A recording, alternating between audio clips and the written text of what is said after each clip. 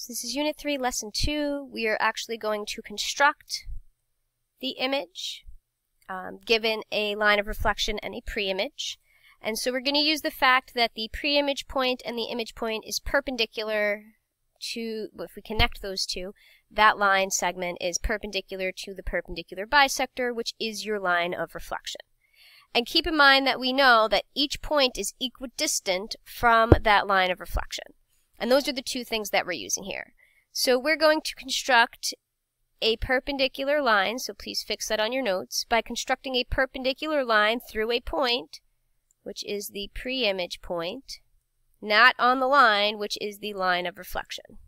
So notice that those trans, uh, those constructions that we did in Unit 1 are coming back around. We need to be able to use them. Then we're going to measure the distance of the pre-image point to the line of reflection and measure this same distance as um, on our line we made in our first step. Okay, that's copying a segment. So let's apply this. Let's let's see how it's done. So we want to reflect ABC over DE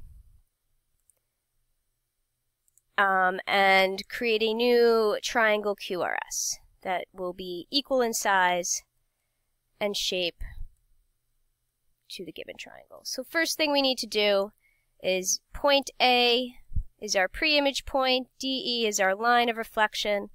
We're going to make an arc that goes through DE. We're then going to transfer our compass onto D one endpoint and to the other. What are we doing here? We are creating a line that is perpendicular to DE and passes through A.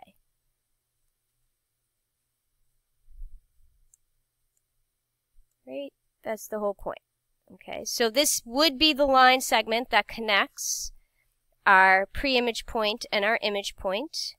And what we know is that our, let's get a different color here.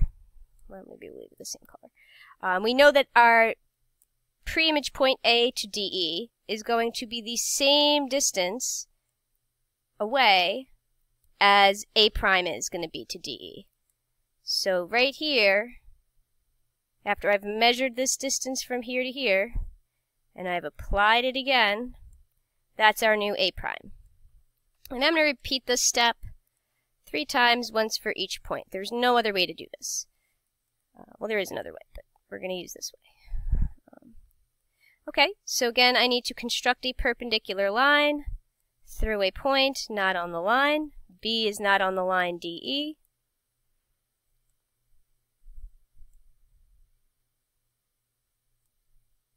Where two arcs intersect, I can put a point, and through any two points, I can put a line. And again, this should pass through your pre-image point, B.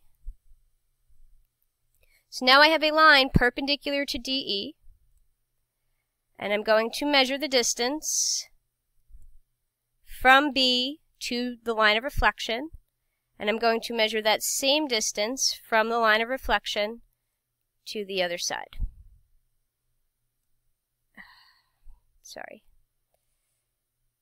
Okay, and where that measurement is, that is where B prime is going to go. And we will repeat these steps one more time for C. Okay, I put my compass on the pre-image point. I make an arc that crosses the line of reflection to make my perpendicular line through a point not on the line.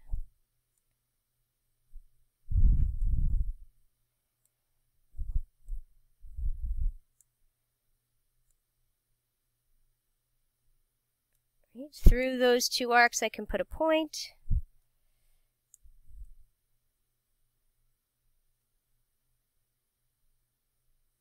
Sorry, my line is not very straight here.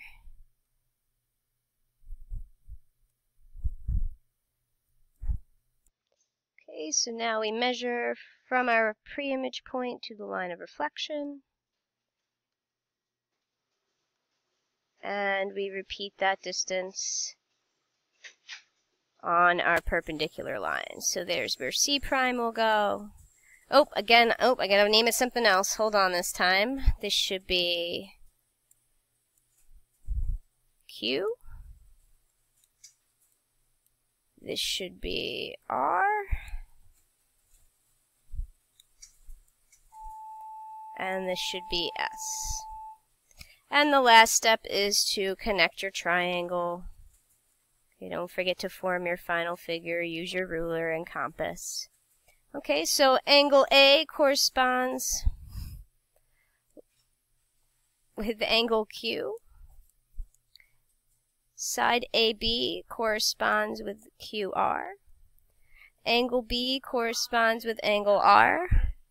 Angle C corresponds with angle S. And side BC corresponds with RS. And side AC corresponds with QS. How do we know that? The important thing to note is the order that they list the points in here is the order of the correspondence here. So notice A comes first, Q comes first. B comes second, R comes second. C comes third, then S. So they are listed when they tell you the order of correspondence of the parts of the triangles.